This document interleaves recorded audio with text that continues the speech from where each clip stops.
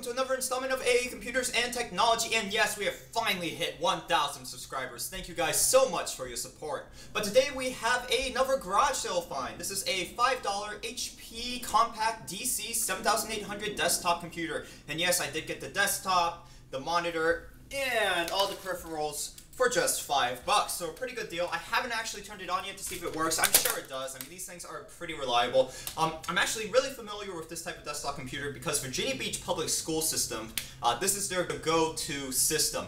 Um, so I've worked with these a ton throughout my entire educational career. So let's go ahead, open this up, and see what's inside. And of course, just as in all my other videos, we're going to turn this thing on, install an operating system if one is not already installed, because it does say wiped on the side of the computer, and I'll show you that. Um, but she said there was still some stuff on this, so I can't be sure. Um, once again, haven't turned it on yet. So we'll install some kind of operating system. I actually planned on doing a uh, Windows 10 video today, so I was going to run Windows 10 on an Intel Celeron 900 uh, megahertz Coppermine processor. So I have a live USB edition of Windows 10 already ready. So um, if the operating system isn't installed on this, I'm going to pop this into the USB drive and then, uh, or the USB port, and then we'll see if it'll actually boot up into Windows 10, and uh, we'll play around with that for a little bit. So um, I'm delaying now. Let's move all this crap off the computer. Oh, pardon my language, stuff off this computer, and open this thing up.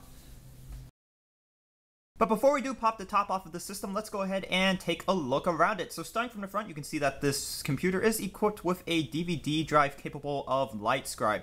And if you don't know what LightScribe is, it's actually kind of old. I'm not really sure if they use it anymore um, because I personally have never ever used it. Uh, it basically allows you to burn a label directly onto a special disk. So if you need to label something, you can put the disk in upside down and it will burn an image onto the disk. So you'll take it out and it'll have a picture on the front burned in uh, with the laser.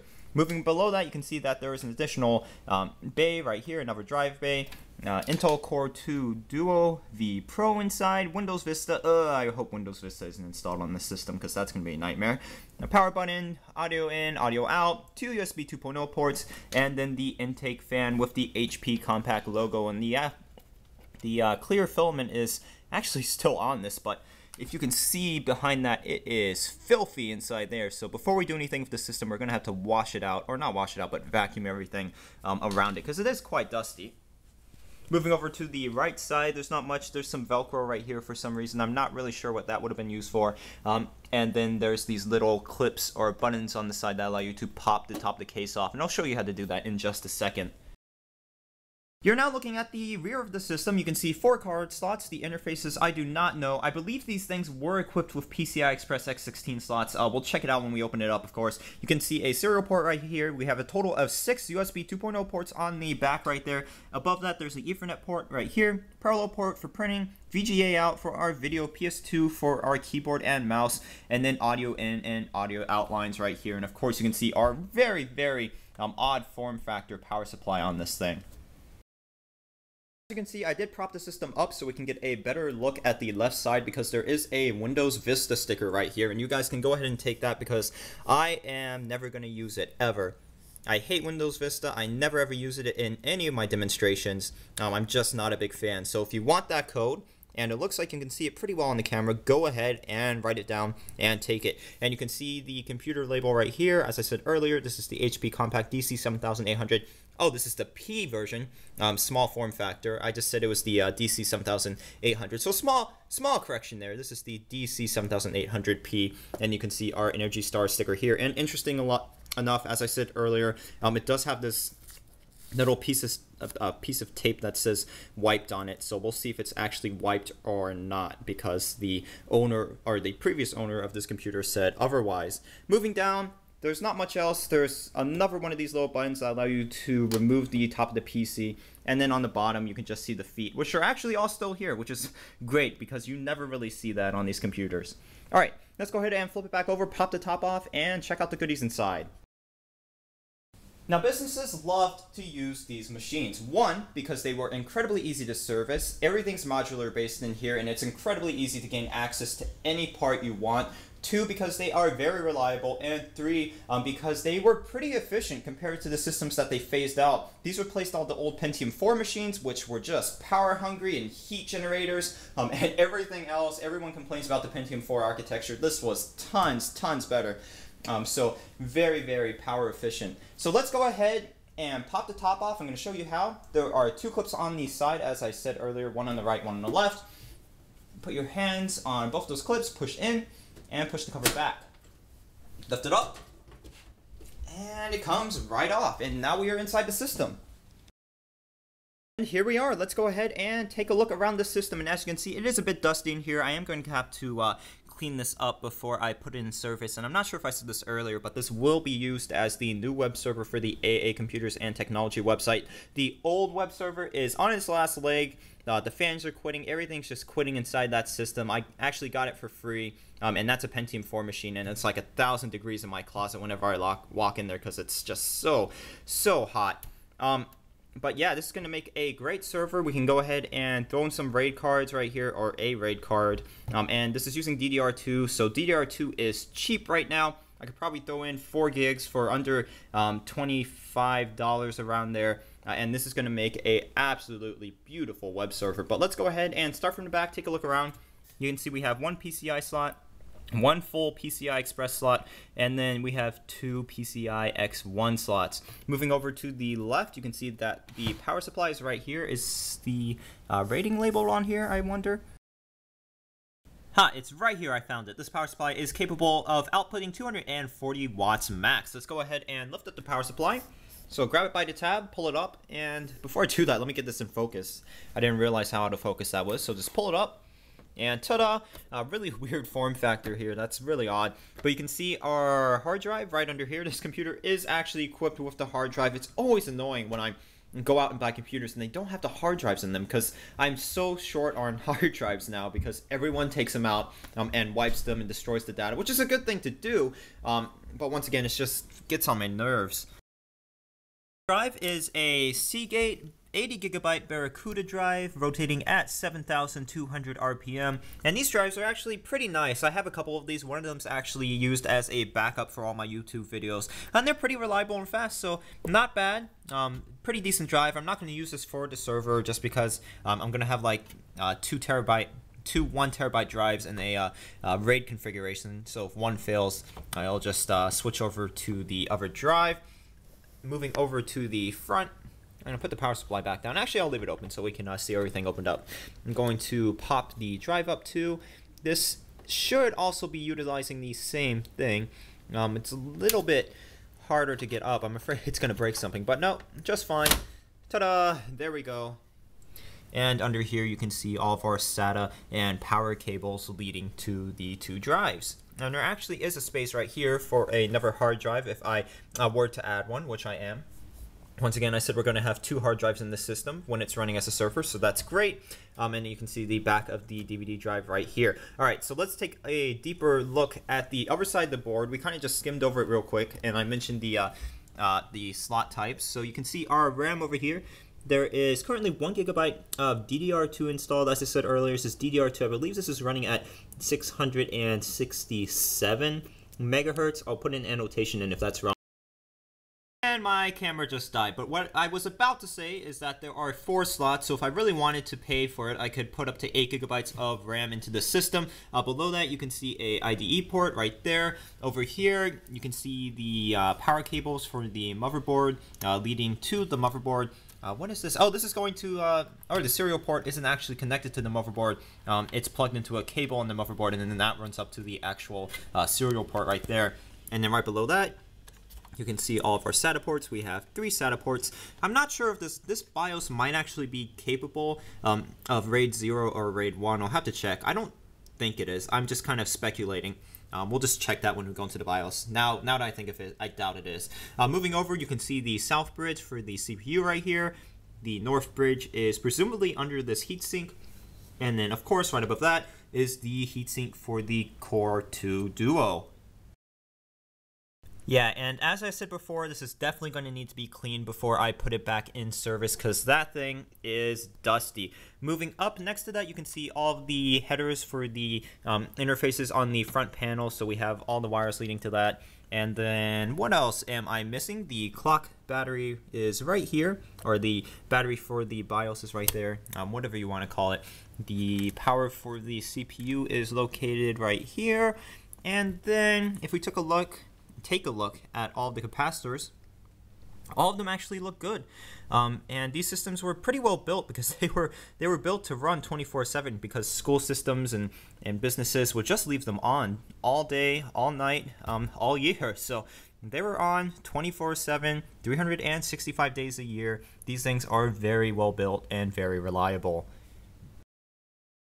I was taking a closer look at everything, setting everything up, and I saw that the mouse actually did have a PS2 to USB adapter attached to it. So that's really cool. This is going to come in handy because I can always use um, something like this to work with old hardware.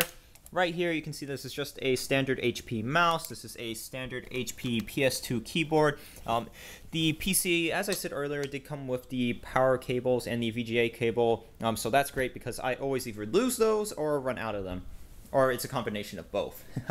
this is your standard run-of-the-mill HP monitor. This is the HP L1706, and you'll find these by the masses uh, behind small businesses and even larger corporations because they throw these things out all the time. Uh, really, at this point, 2015, these are starting to be phased out, so a lot of the times you can just pick these things up for free. So everything is all set to go now. When I plugged in the PC, it did come on for just a moment, so that's a good sign. The monitor did not turn on, however. Um, I'm not sure. Oh, no, just had to turn on myself. Usually they uh, turn on when you plug them in, but I guess this model um, doesn't, which isn't a big deal at all. All right, monitor going to sleep, so I'm going to let go to sleep. And then we can go ahead and power this thing up. Let's see if it works and if it has anything installed on it. I think I'm going to go into the BIOS first, though. Um, so we'll do that. And I probably should have put the camera on a tripod because it's going to be really wobbly um, trying to do this. F10. Did I get it? I think I got it. It is entering into setup. It's just testing all the RAM right now. As I said earlier, we have total of 1 gig of RAM. System options not set. Oh, drive configuration or system configuration has changed since your last boot. Um, huh, okay. So F1, save changes. All right, let me into the BIOS. What? Ah, uh, F10. Setup. Please go into the setup. All right, there we go. So, um, a different, actually has a language selection for the setup, which is weird. Usually it's just in English. Okay, so we can go ahead and view the system information. All right, so as I said earlier, this has all the specs I've really talked about already. It's HP Compaq DC 7800P. Um, processor type, we have a Core 2 Duo running at 2.33 gigahertz. That's actually pretty fast. Um, wow, that's impressive. And then our memory size, 1 gig, two 512 megabyte sticks. Um, and then really there's nothing else um, mentionable. You can see the system or the processor cache right there. And if we go through the BIOS some more, storage options, security, power. Okay, so basically, um, I think that's all we're going to get out of the BIOS as far as information goes. So let's go ahead and check if a operating system is installed on the hard drive. The camera is now mounted to my tripod and we can go ahead and see if anything is installed on the system. So I'm going to power it up now. And it actually sounds like there's a disk in here. Oh, no, there's not. Fooled me. And you know what? We should probably turn monitor on. There we go. Okay, let's go ahead and boot.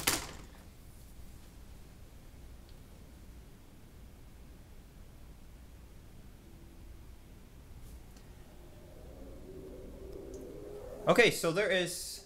Oh, Okay, yeah, so there is nothing installed on this system, and I'm being drowned out by jet noise right now because there's an air show just down the street, and it's killing me when I'm trying to make this video.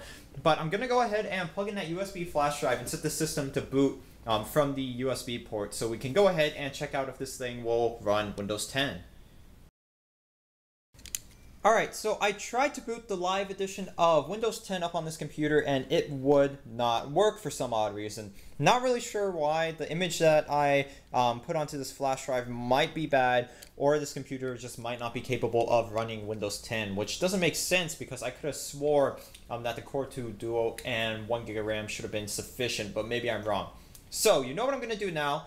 Um, I'm going to make a completely separate video um, about the system running Windows. Um, I, in particular, I think I'm going to put Windows 7 on the system because that's what uh, my web server is running now. I know I should probably be using Linux or something more secure, but um, it's just easier for me to use Windows. So I'll make a video all about that when we upgrade this thing, put 4 gigs of RAM in it, install RAID card, two, uh, two more hard drives into this, and I'll make a whole video about that. We can run some benchmarks and take a deeper look into the system.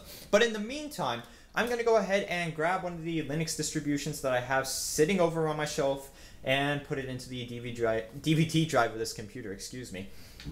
And I know I'm going to get a lot of complaints about that, or maybe one or two complaints, I don't know. For some reason, people were, complaining on some of my videos because I was using a Linux distribution instead of Windows. Well, a Linux distribution, in my opinion, is a great way to test the system out without having to go through all the hassle of actually installing an operating system.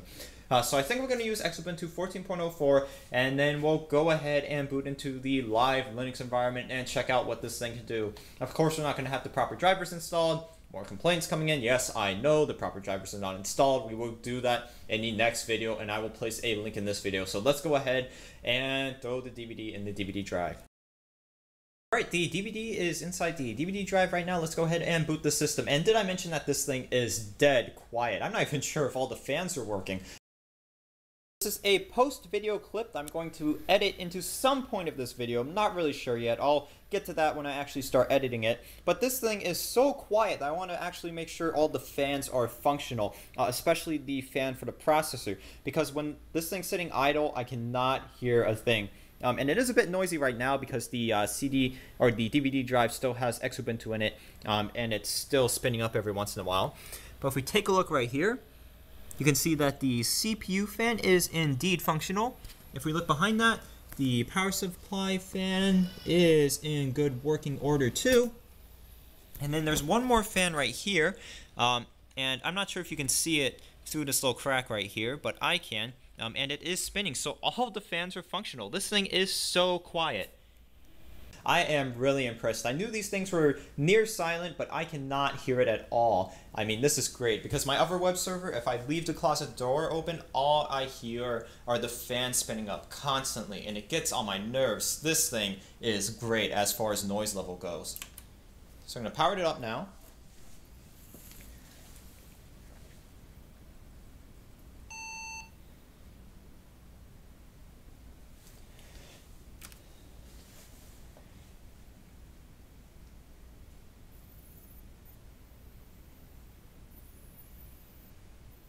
Alright, the DVD is spinning up.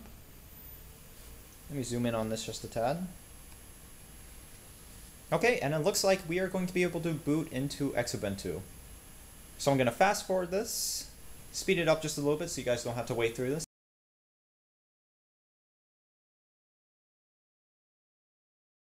Now, as you can see, we are in the live environment right now, and I have a couple more preparations I have to make before we can actually use the system.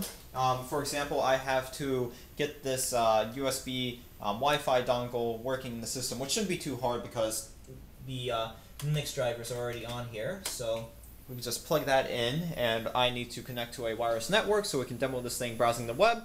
Um, and I think after that, we can go ahead and start testing the system out. Alright, everything is good to go now, and what I've noticed is that the color production on this monitor is still great despite its age. So I have the task manager up right here. We're currently using about 21% of the 1 gig of memory that we have, and our CPU usage is pretty much um, at zero while sitting idle. So the first thing I'm going to do is go into the web browser, and Firefox is installed on this, so we're going to go into Firefox and try browsing the web just a bit. I also want to see if I can play a YouTube video on this. Um, once again, I know proper drivers aren't installed, uh, but I think a system of this caliber should be fine on Linux, uh, trying to play a YouTube video without the proper drivers. So www.youtube.com.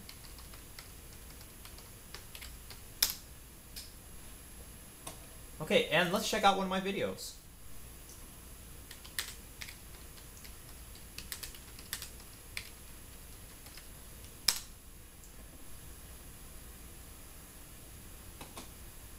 Okay, I'm just going to pick the first one that pops up. And I'm not sure if this thing has built-in speakers. I'm pretty sure it does, um, because I remember when using these in school, uh, they didn't need a separate speaker set. Oh, there are built-in speakers on this system. Awesome. I must uh, I must have missed those when we uh, took a look inside.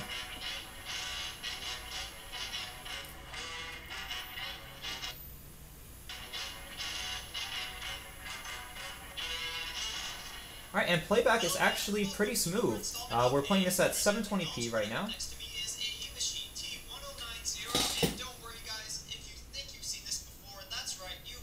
Okay, so this works great. I'm, I'm actually pretty surprised that uh, that it's playing this smoothly in Linux. Because usually, if you guys follow my channel, my channel, whenever we try to play something, um, it's pretty awful. All right, one more thing. Let's go ahead and try to visit my website. All right. Oh, look at that scrolling, nice and smooth. That's awesome. All right, so let's just try browsing through it. And this isn't a very good test of the of the system's speed with the web browser because my web server itself is actually pretty slow. Um, so let's go ahead and try to browse something that's pretty hectic. Um, if you guys have ever been on CNN, and I go on CNN all the time, their website is just awful. Oh my goodness, I wish I could go 15 minutes without being interrupted. This is getting on my nerves. But anyway, as I was saying earlier, uh, every time I try to go on CNN, whether it be a low-end machine or my gaming rig, it just crashes. Now with my gaming rig, it's really not that often. It's just once in the blue moon, but still, the website is just awful because there's ads and pop-ups everywhere, um, and it's just annoying. So that's why half the time I end up just going to the uh, Associated Press website. But Let's go ahead and see if we can get to work on this system. What? That's weird.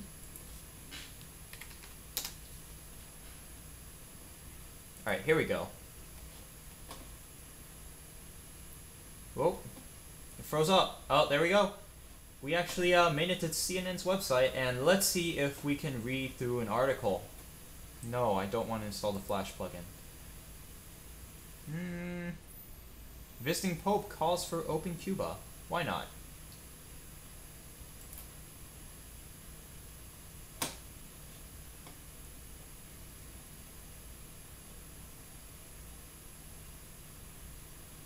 Come on, you can do it. The Core 2 Duo can't handle this, nothing can. Yeah, this website is just hectic. I don't know why it's so cluttered. They really need they really need to redo this. I mean, it gets to the point where I just hate going here, but I have no choice and I always end up going back to here.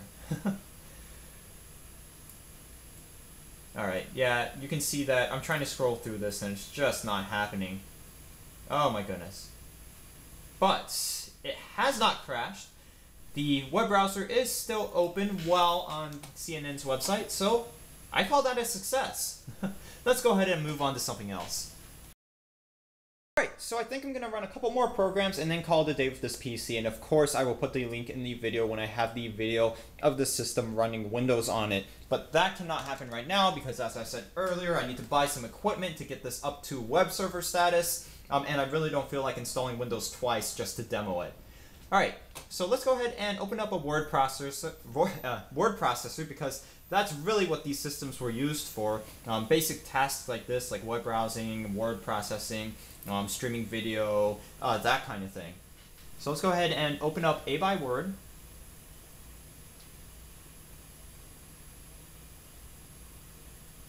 And it is a little bit slow, not because the system's slow, but because of the fact that we are running this live off a DVD.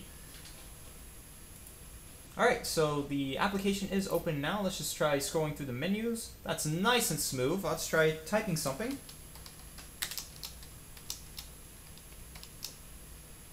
Wow. I swore I typed in hello, but for some reason uh, it only got half of that. Oh my goodness. There we go. Let's try uh, messing around with the fonts. Alright, and let's make it big. Why not? Hello, YouTube. Alright, so AbiWord is working just fine. Next, let's just try taking a stroll through the operating system. Um, once again, there's this is a fresh install, so there's not going to be much here, but we can see um, how easy it is to navigate through this and how responsive it is. Once again, we're using this off of Live CD, so there might be a couple points where it just stops um, to load everything up. But for the most part, it should be relatively smooth. Now let's go to the actual file system and go into the system files, because that's where all the documents and everything are going to be. Um, it should be under bin. No, I lied. Oh, yeah, it just took a couple minutes to pop up, and let's scroll through that. Not bad. Come on out here. I mean, really? Uh, not too exciting. I know you guys are probably getting bored at this point, so I'm going to wrap this up right now and go to one more thing, which is the um, Software Center for Ubuntu. And for some reason, this application is just really resource intensive. I mean, I, I have no idea why. I've just always had issues with it. So I'm going to open that up on here now.